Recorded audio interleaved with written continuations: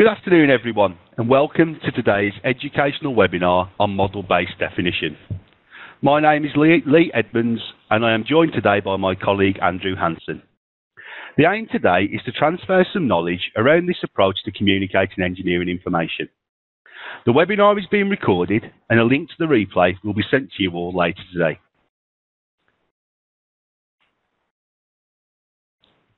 Firstly, we will take a look at some of the challenges a model-based approach can help solve. We will then give you an overview of what model-based definition and enterprise are, look at how the tools we use for design have evolved to bring us to this point, and then look at a brief demonstration of PTC solutions in this area. Finally, we will review some best practice advice on how to decide if adoption of a model-based approach is right for your business. Let's take a look at some of the common challenges that might lead a business to explore the value of a model-based approach. In today's competitive landscape, we are under constant pressure to deliver to our customer on time. This is fast becoming one of the top measures customers use to determine whether we secure future business. Product development teams are being asked to develop and deliver projects faster than ever before by reducing time to manufacture, usually with less headcount to work with. Customers are also demanding higher product quality. This makes the reduction of any non-conformances during the manufacturing process a key factor. We then have economical challenges, the constant pressure to reduce direct and indirect costs, and to reduce scrap and rework. A recent survey by Aberdeen Group found that 30 to 40% of non-conformances were due to inaccuracy and misinterpretation of 2D drawings. It's a growing challenge that fewer people coming into manufacturing have done any basic training in drafting and find it difficult to understand traditional 2D drawings. We also have more non-engineering users downstream who want to reuse our engineering data along with the growing need to collaborate effectively and consistently with customers, suppliers and distributed manufacturing sites. It seems we've been talking about going paperless in manufacturing for years, but there are, and there are many obvious, obvious benefits. One of the main challenges a business faces as they work towards this goal is deciding how best to share the manufacturing information electronically. Model-based engineering falls into two categories. Model-based definition, or MBD, involves replacing the traditional 2D drawing with a fully annotated 3D model that contains all the information required to manufacture or assemble your components or product. Model-based enterprise, or MBE, is where the MBD model is then shared in a controlled way downstream with other stakeholders. With an MBE approach, the rich information contained in the 3D model can be utilized by manufacturing, quality, and a host of other downstream departments. Let's take a look now at some maturity levels. The first level of maturity is drawing centric. If you're not using a data management tool like PTC Windchill, this is probably where you are today. You'll be using your CAD tool purely as a method to create a 2D drawing. This is then controlled as a separate business object, often in a manual, paper-based manner. The second level of maturity is model-centric. Here, the 2D drawing is still the master when it comes to manufacturing, but it is stored and controlled alongside its associated 3D model in a data management system. The third level of maturity is model-based definition. Here, all the information required to manufacture and inspect the product is included in a single 3D file. Here, it's the 3D CAD model that's the master, and is usually accessed electronically by the downstream user. The fourth and final level of maturity is model-based enterprise. Here, the 3D model is fully leveraged by all downstream departments, both internally and externally, who will access it via a data management solution. So with levels 1 and 2, which is where the majority of you are today, the 2D drawing is still the authority. Whereas when we move up through levels 3 and then 4, the 3D model becomes the master and the 2D drawing becomes virtually redundant. So let's take a look at how we got to this point. Think back to the days when we were moving off the drawing board and onto 2D CAD. We had rooms full of designers and draftsmen using pencil, ruler and paper to produce 2D drawings for manufacturing. When we moved to 2D CAD tools, the way we did our work changed, but the output was pretty much the same as what was produced on the boards. We then moved from 2D CAD to 3D CAD. The way we did our work changed again, but the output was still the same 2D drawing. In the 80s, 90s and early 2000s, as we transitioned from the board through 2D CAD to 3D CAD, the output was still the same static 2D drawing we've been producing for centuries before. When we make the move to model-based definition, however, how we do our work changes again, albeit using extended functionality in the same 3D CAD tool, but the output is changed to something much richer in content and of a much higher downstream value to the business. So let's take a look at where this value is. We've listed a few of the main benefits here. Delivery times are decreased as the time spent creating 2D detail drawings is reclaimed. This is further reinforced by the ability to automate the transfer of the information through the business. We become more efficient as there's only one file to manage and update. The time we effectively spend updating two separate sets of information that are the 2D drawing and the 3D model is eliminated. We also reduce scrap and rework. With all the information required to manufacture the product in a single file, there's less chance of information key to accurate manufacture being missed. There are also less errors caused by misinterpretation when working with this easier to understand 3D information. This in turn improves product quality with the number of non-conformances reducing. When we create a 3D model, we build a lot of valuable information into it during its creation a lot of which is lost when the 2D drawing is the master. By adopting MBD as an approach, we greatly improve our utilisation of these valuable 3D assets. In a recent publication by the NCMS Model-Based Enterprise Forum, GE claimed to have reduced their tool and design times by 75% after adopting model-based methods. I'd like to hand over now to Andrew, who will give you an overview of PTC's MBD solutions, along with detail of what is available today in Creo 2 and 3, along with news of what's new for MBD in Creo 4.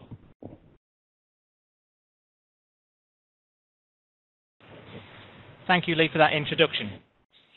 Before we take a look at the software in use, we can see that there is a range of software available from PTC to suit the different areas of an MBD process from creating with Creo Parametric, managing with Windchill, through to viewing with Creo View Express.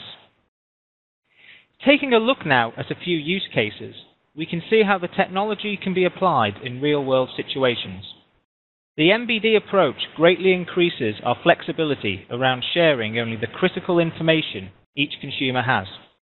You could, for instance, create a view for each group of users that need to consume the information only displaying the information critical to their role in the process.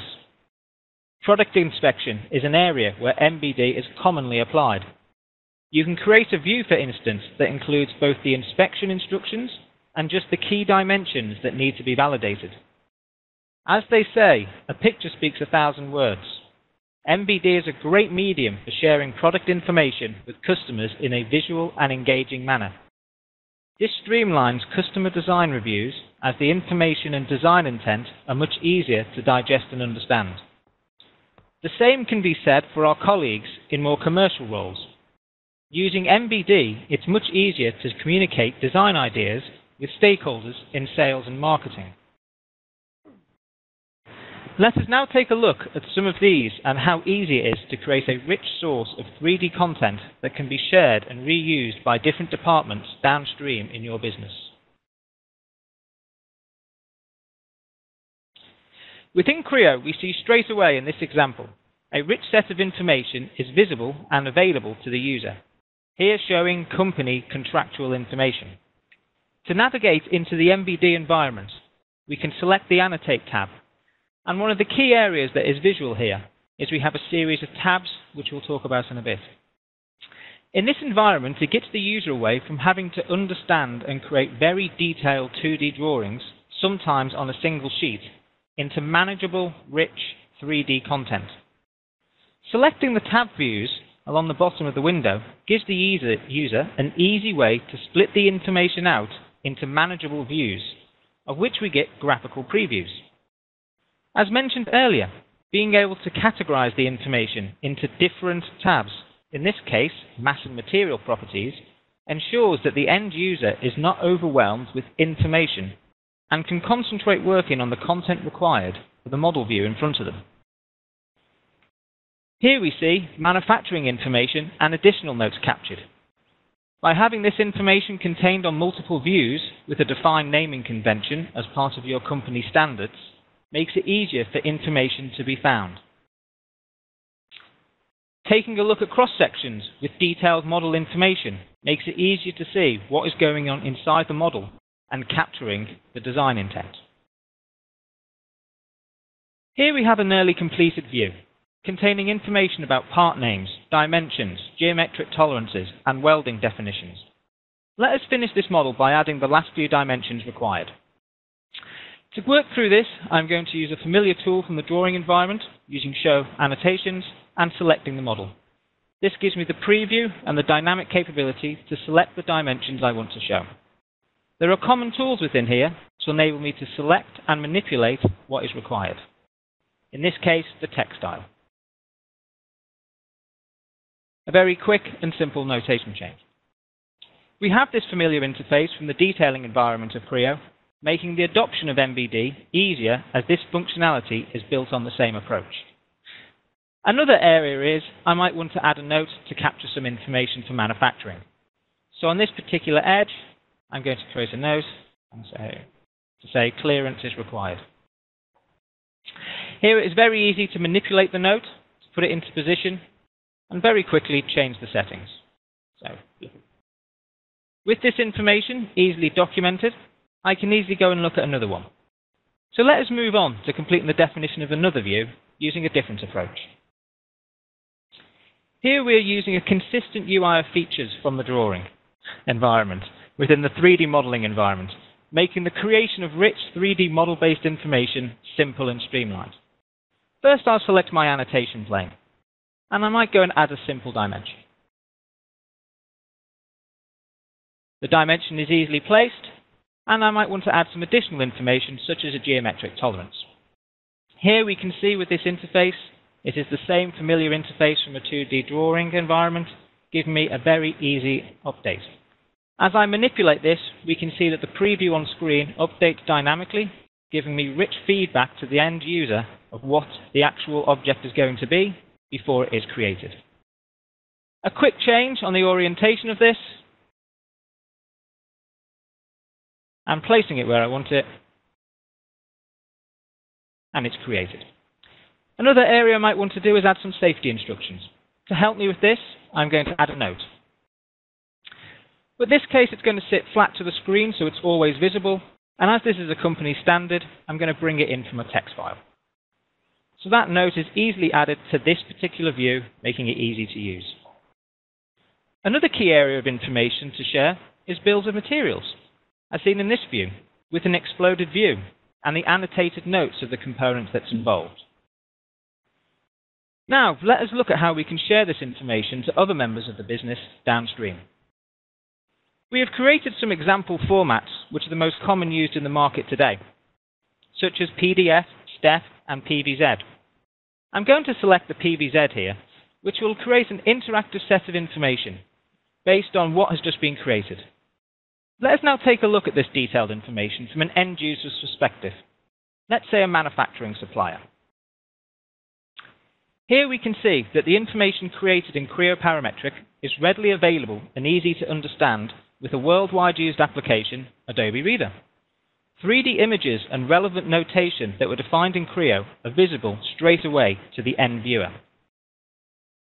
Another great tool to use is PTC's free Creo View. Here I'm going to open up the visualization that I just created. The view tabs that were defined in Creo Parametric are visible to the end user in this tool. Here we can see them down the left hand side. By simply selecting them, this allows me to load up that particular view and interrogate as required. This will be the default view, additional information such as titles, and through to the particular views I just finished off, where we can see those dimensions and the note easily added. With such a source of diverse information readily available to the downstream users, this can lead to the reduction of disturbance to engineers by ensuring relevant information is natively available in a more readable and interactive format. So taking a look at how PTC enables MBD. PTC Creo has a long established roadmap to the adoption of MBD. And over the next few slides, I would like to show how the software is developing to support the growing industry demands. Since the inception of Wildfire 2 in 2004, PTC's CAD software has had the ability to define MBD models. Bringing us up to the latest releases, we can see in Creo 2 that great functionality, such as dynamic positioning of dimensions, has been introduced to make the use of this approach easier for the user. Coming on to the latest available release, Creo 3, the functionality has been further enhanced with the addition of standardized GTOL capability and ensuring support for the industry-defined ASME-Y 14.41 2003 standard on digital product definition for MBD is adhered to out of the box. This ensures that businesses adopting an MBD strategy can be confident in being able to bid for contracts that require this approach. Looking into the future, PTC continues to develop the area of MBD, with it being one of the top priorities for Creo 4, to improve and expand upon the existing capabilities, meeting the continual demands of the market today. I would like to give you a sneak peek of some of these enhancements. Being able to author additional geometric tolerances and create more informative views ensures that PTC Creo continues to support new industry standards sharing this new source of information by creating new formats such as STEP AP242 and a bespoke GD and T tab in the 3D modeling environment will deliver a quicker delivery time of information to the end user. I would now like to hand you back to Lee, who will go through how this functionality can be adopted by yourselves today.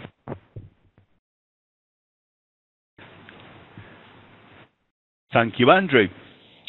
Let's take a look now at some best practice advice on how to determine whether an MBD approach is right for your business. The effort required in formulating an MBD strategy depends on a number of factors. The size of your team, complexity of product, and industry standards you are expected to satisfy all play a part. The first step is to identify where the value is. Are there any business goals that adopting an MBD approach might help you achieve faster? How will you justify a changing process to the rest of the business? And what would a sensible adoption roadmap look like? The next step is to develop the process itself. How will the information flow through the business from your authors to the downstream consumers? Key to the success of any MBD strategy is developing working practices for your team to follow. This will ensure consistency of the data set you produce. Technology is also important. Choosing the right tools and deciding how these should be deployed to support the process is critical. Remember, the core MBD functionality is already in every Creo base license, and Creo View Express is available free of charge for downstream consumers. Finally, decide on the training that will be required by both authors and consumers of the MBD data. And how are you going to ensure the lowest possible drop in productivity during early adoption? Regardless of the size of your team and complexity of product, the steps you need to go through remain the same. It's reasonable, however, to expect a small to medium sized design team to be up and running with MBD with just a few days of effort. In summary, I hope you've seen from the information and technology that we've shared today how an MBD approach can help deliver value to your business. Decreased lead times, increased efficiency, reduced scrap, and improved product quality are all achievable if you get the planning and execution of the strategy right by leveraging industry best practice. So that concludes today's session. If you'd like to review the material again, a link to the presentation will be sent out shortly. We're also very keen to get some direct feedback around what you've seen today, and we'll be in touch in the next few days to canvass some opinion. Should you have any immediate questions, please don't hesitate in contacting us. So, thanks for your time and attention this afternoon. I hope you found it valuable and enjoy the rest of your day. Goodbye.